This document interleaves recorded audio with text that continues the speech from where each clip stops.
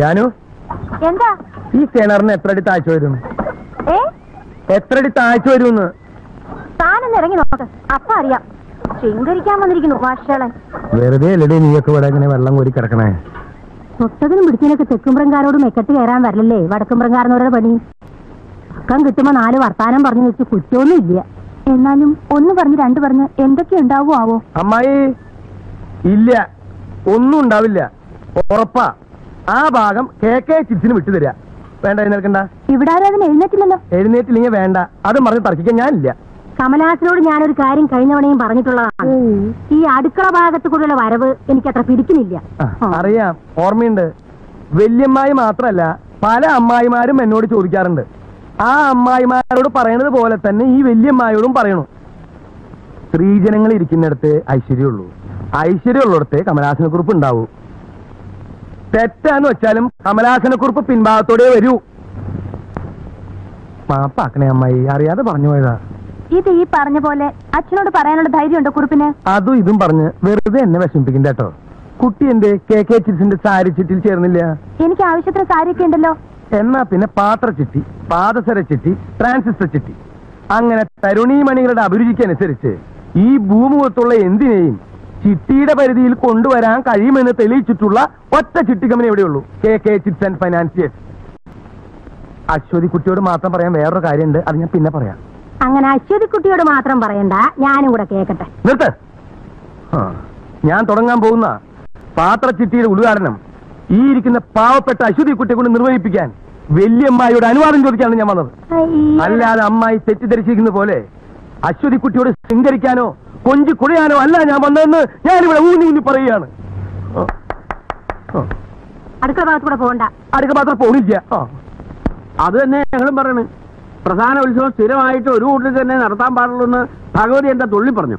കൊടിയേറ്റ ഉത്സവം കേമത്തിൽ കേമാക്കാൻ വടക്കുംപുറത്താർക്കെ കഴിയും തെളിയിച്ചു കഴിഞ്ഞ കഴിഞ്ഞ രണ്ടു വർഷവും. ഇല്ല അച്ഛൻ റസീർ പറഞ്ഞോളുക തെക്കുംപുറത്താർ നയിച്ചത് നാട്ടുകാർ കണ്ടേ. ഏതൊരുട്ടം കുതിരയെടുപ്പും കാക്കരശി ഹായ് ഒന്നും പറയണ്ട.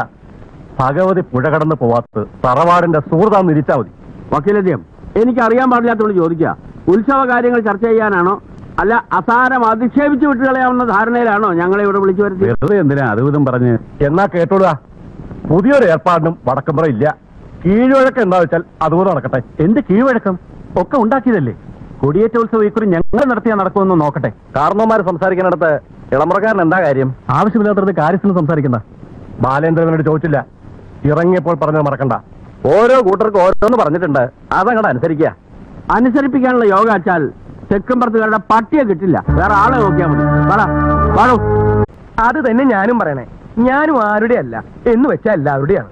ആ കണ്ണാടി ഊരിക്കടോ തട്ടി തറിഞ്ഞ് വീഴൂ. Thank you അതുകൊണ്ടെന്താ? വടക്കുംപുറത്തെ കാര്യസ്ഥന്റെ അനന്തരാവാസിയാണെങ്കിലും തെക്കുംപുറത്ത് ഇരിക്കാൻ എനിക്ക് ചെറിയൊരു ഇരിപ്പിടാണ്ട് ഇരിപ്പട അടുക്കളയിലായിരിക്കും. ചെലവേ മേലെ. എന്താടോ? ചെലവത്ര മോശ? കെ കെ ചിരിച്ചൊരു ചിരവ ചിട്ടി കൂടി തോന്നുന്നുണ്ട് തന്റെ പടം വെച്ചിട്ട്. കുടുംബക്കാർ വന്നിരിക്കുമ്പോ കുട്ടി എന്തിനാ മറഞ്ഞു നിന്ന് നോക്കണേ? കടന്നു വരൂ. ഇങ്ങനെയൊക്കെയല്ലേ പഠിക്കുക? അല്ലേ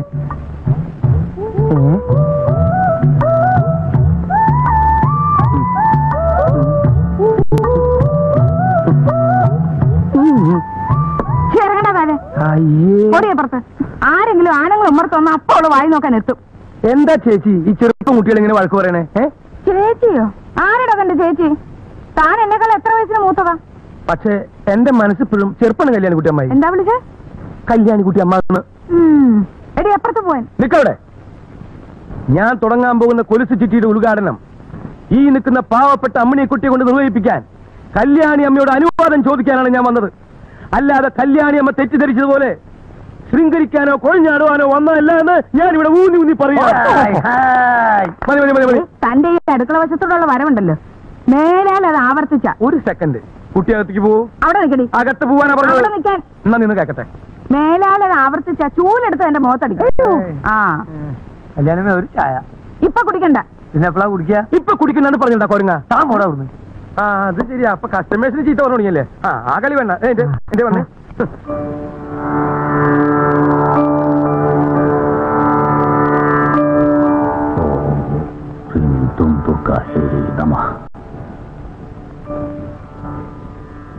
ഈ പുറം വീണാൽ കൊടിയേറ്റം മുതൽ അഞ്ചു ദിവസത്തെ ഉത്സവം വടക്കുംപുറത്തുകാർക്ക് മറുപുറം വീണാൽ തെക്കുംപുറത്തുകാർക്ക് തർക്കം? താൻ ഇല്ല അവിടെ ഉണ്ട് ഇവിടെ? അങ്ങനെ തന്നെ.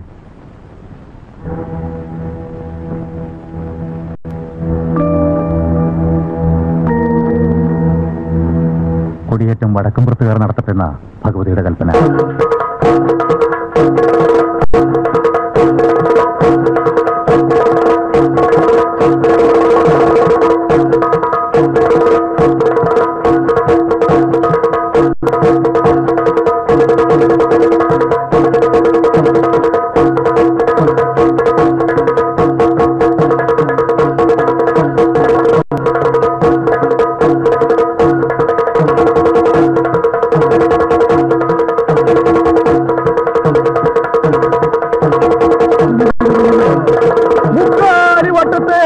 അറിയാത്തതെന്തും ഈ അമ്മ കാണുന്നു എന്ന് കൂട്ടിക്കോ. മഞ്ഞു കൊണ്ട് മൂടിയാലും മലര് കൊണ്ട് മൂടിയാലും അമ്മ കാണുന്നു ഈ അമ്മ കാണുന്നു. സമയത്തെത്തുവോ?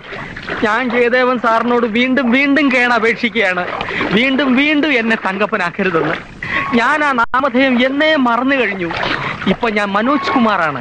Cine fame film star. എന്തോന്ന് സിനി ഫെയിം? ഏത് സിനിമയിൽ അഭിനയിച്ചാ താൻ ഇത്രയും വലിയ ഫെയിം ഒക്കെ ഉണ്ടാക്കിയത്?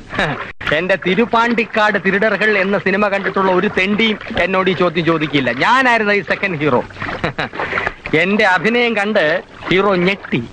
അല്ല ഞാൻ അഭിനയിച്ച പതിനാറ് റീൽ വെട്ടി ആറ്റി തട്ടി ആ ദുഷ്ടരായ ഡയറക്ടർ പക്ഷേ ഞാനത് ഈ പഴത്തൊലി ചവിട്ടി കമിഴ്ന്നടിച്ച് വീഴുന്ന ഒരു സീൻ ഒഴിച്ച്. അത് മതിയല്ലോ ഭാവനാ സമ്പന്നനായി കലാകാരനെ.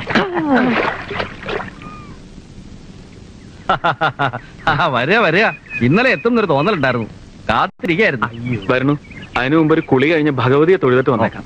ഞാനപ്പോ ഇവരുടെ സാധനങ്ങളൊക്കെ വെക്കാൻ ഏർപ്പാടുണ്ടാക്കാം. ആയിക്കോട്ടെ. വിശ്വേട്ടനും പോകണം വടക്കുംപുറത്തെ കാരണവരാണ് കാര്യസ്ഥന.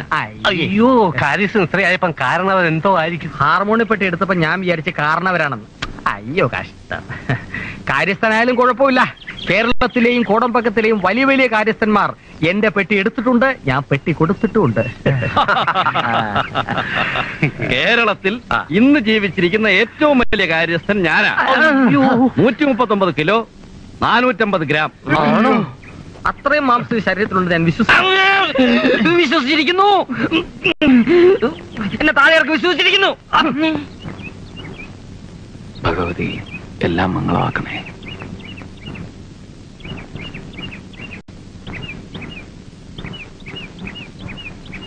അറിയോ? എത്രയോ വർഷം എന്റെ അച്ഛൻ ഇവിടെ ശ്രീകാര്യക്കാരനായിരുന്നു. അയ്യപ്പ. വലിയാറിനവരുടെ കാലത്ത് ഇവിടുത്തെ പത്ത് ദിവസത്തെ ഉത്സവം എന്ന് പറയുമ്പോ പത്ത് ദിവസം നീണ്ടു നിൽക്കുന്ന കലാമേള തന്നെയായിരുന്നു. വിശ്വേട്ടൻ മേലിടം വാസുദേവ ശർമ്മയുടെ ഹരിയത കേട്ടിട്ടുണ്ടോ? ഇല്ല. കേമാണെന്ന് കേട്ടിട്ടുണ്ട്. ജീവിതത്തിൽ എന്റെ വഴി കഥ പറച്ചിലാണെന്ന് ആദ്യം തോന്നിയത് സത്യത്തിൽ ഇവിടെ ഭഗവതിയുടെ മുമ്പിൽ മേലിടം കഥ പറയുന്നത് കേട്ടിരുന്നപ്പോഴാ. നല്ല ഓർമ്മയുണ്ട്. അമ്മയുടെ മടിയിൽ കണ്ണിമ ചിമ്മൂലും ചെയ്യാതെ കഥ കേട്ടിരുന്നത്. ആ രാത്രി പിന്നെയും ചില ഓർമ്മകൾ തരുന്നുണ്ട്. പന്തവും വടിവാളുമൊക്കെ ആളുകൾ വന്നത്. പിന്നെന്തൊക്കെയാ നടന്നത്? കുത്തും വെട്ടും കൊള്ളിവെപ്പും എന്തായിരുന്നു കാരണം? ഇപ്പോഴത്തെ കാരണവന്മാര് തമ്മിലുള്ള സ്വത്തുകാർക്കാന്നാ പറയണേ. പിന്നെ ചേരി തിരിഞ്ഞും കരതിരിഞ്ഞുമുള്ള പകയും പോരുവായി. ഒടുവിൽ ചോരക്കളി ശ്രീകോവിലേക്ക് കടക്കുന്നതായപ്പോ അച്ഛൻ വഴി തടഞ്ഞു നിന്നു. ആ പടികളിലാണ് വെട്ടും കുത്തുവേറ്റ് എന്റെ അച്ഛൻ മരിച്ചു വീണത്.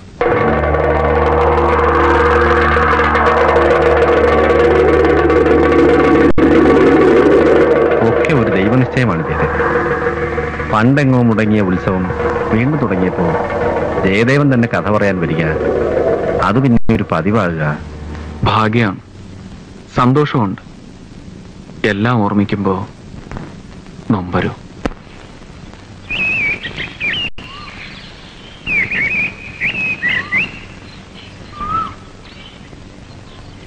ആരുമില്ലേ? ആഹാ അച്ഛൻ പറയണ്ടായി ജയേട്ടൻ നിന്ന് എത്തുന്നു ശാലിനി ഉത്സവത്തിന് വന്നതാവും. ഓ ഉത്സവത്തിന് എത്തിയതന്നെ പക്ഷെ ഇത്തവണയല്ല കഴിഞ്ഞവണ. പിന്നെ പോയില്ല. ഞാൻ ഇത്തവണ വരുമ്പോഴെങ്കിലും ശാലിനി ഭർത്താവും കുട്ടിയും ഒത്ത് സ്വരൂപോടെ കഴിയുന്നത് കാണാന്ന് വിചാരിച്ചതാ. അതിപ്പോ ഞാനൊരാൾ മാത്രം വിചാരിച്ചിട്ട് കാര്യമില്ലല്ലോ. വരച്ച വരയിൽ നിക്കണ വെച്ചാ എന്നെ ഇട്ട് കിട്ടിയില്ല. നിശ്ചയ. ഈ സ്ത്രീ സ്വാതന്ത്ര്യം എന്നൊക്കെ പറയുന്നത് ശരിയാണ്. രസമാണ് കേൾക്കാൻ. എന്നാലും നമ്മുടെ നാട്ടിൽ ഒരുവിധമുള്ള സ്ത്രീകളൊക്കെ ഭർത്താവുമായി കഴിയുന്നത്ര ഇണങ്ങി എല്ലാം അങ്ങ് മിണ്ടാണ്ട് അനുസരിക്കാന്നല്ല. ഒരു ഒത്തൊരുമയോടെ അല്ല അതാ അതിന്റെ ഒരു ഭംഗിയുമേ. ഞാൻ പറയുന്നത് ഒരു കുട്ടിയൊക്കെ ആയില്ലേ? ഭർത്താവുമായി ശാലിനി കഴിയുന്നത്ര ഒന്ന് അഡ്ജസ്റ്റ് ചെയ്ത്. എന്ത് അഡ്ജസ്റ്റ് ചെയ്യാൻ? അങ്ങോരൊരു പോങ്ങനാണെന്നേ. അല്ല ഉറപ്പ്. തെളിവെന്താന്നോ അതിന്? തറവാട്ടിൽ തന്നെയുള്ള നിന്റെ നിൽപ്പന്നെ. വന്നില്ലല്ലോ നാണമൻ. ഭാര്യയെ പൂവിട്ട് എഴുന്നള്ളിച്ചോണ്ട് പോവാൻ.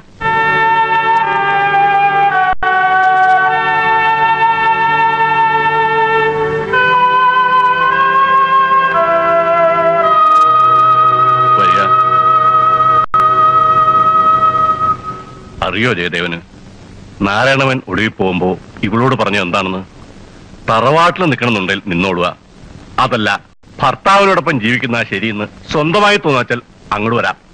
എന്ന് വെച്ചാൽ കൊണ്ടുപോവാൻ ഭർത്താവിന്റെ പല്ലക്ക് വരുമെന്ന് സ്വപ്നത്തിൽ പോലും നിരീക്കണ്ടെന്ന്. നല്ല അസല ആൺകുട്ടിയുടെ വർത്താനം. ശരിക്ക് പറഞ്ഞാൽ നാരായണവൻ എന്റെ മരുവനാണെന്ന് എനിക്ക് ആദ്യം തോന്നി തന്ന. നിക്കട്ടെ അവളിവിടെ എല്ലാരും കൂടി ഇങ്ങനെ വാശി പിടിച്ച് എന്തായാലും ഒടുവിൽ നഷ്ടം ശാലിനിക്ക് തന്നെ ആരെ ആര് നിരീച്ചു? ഇങ്ങനെയൊക്കെ ഒന്ന് ഭവിക്കുന്നു ഒക്കെ വിധിയാ. അല്ലാണ്ടെന്ത് പറയാ പറയാൻ? ജയദേവൻ ഇരിക്കേ ജയദേവന്റെ താമസത്തിന്റെ കാര്യങ്ങളൊക്കെ കുറിപ്പ് ഏർപ്പെടുത്തിയിട്ടുണ്ട്. വിശേഷങ്ങളൊക്കെ കുറിപ്പ് പറഞ്ഞു. കർണന്റെ കഥയാണല്ലേ? നന്നായി അസലാക്കണം ഗംഭീരാക്കണം. ജയദേവൻ ഇശി തടി വെച്ചിട്ടുണ്ട്. ഈ തടിയിന് കൂട്ടണ്ട. മുഷിഞ്ഞുള്ള കഥ പറച്ചിലും ഉറക്കളയ്ക്കും അല്ലേ? ആരോഗ്യം ശ്രദ്ധിക്കുക. പുതിയ കഥയാണ്. ഒക്കെ ഒന്ന് ചിട്ടപ്പെടുത്തുന്നവരെ. വിശ്രമില്ല അല്ലേ? ഒന്ന് ആലോചിക്കുമ്പോ അത് നന്ന്. ജയദേവൻ ചായ കുടിച്ചിട്ട് പോയാ മതി. അല്പം ധൃതിയുണ്ട്. അതൊന്നും പറയണ്ട ചായ കുടിച്ചിട്ട് പോയാ മതി. ഉടനെ തന്നെ റിഹേഴ്സൽ തുടങ്ങണം. പിന്നെ ഫ്രീ ടൈം കിട്ടില്ല? ഉള്ള ഗ്യാപ്പിന് എല്ലാരെയും ഒന്ന് കാണണം. തെക്കമ്പുറത്തും ഒന്ന് കയറണം എന്ന് വിചാരിക്കുക. തെക്കുംപുറത്ത് പോവുക പോവാണ്ടിരിക്കുക അതൊക്കെ ജയദേവന് ഇഷ്ടം. നിർബന്ധമായും ചെന്ന് കാണേണ്ട ഒരാളുണ്ട്.